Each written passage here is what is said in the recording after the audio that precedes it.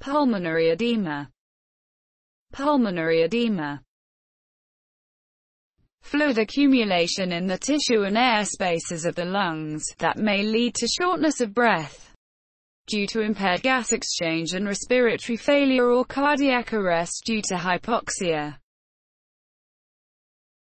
Types causes cardiogenic pulmonary edema, congestive heart failure or failure of the left ventricle of the heart to remove blood adequately from the pulmonary circulation.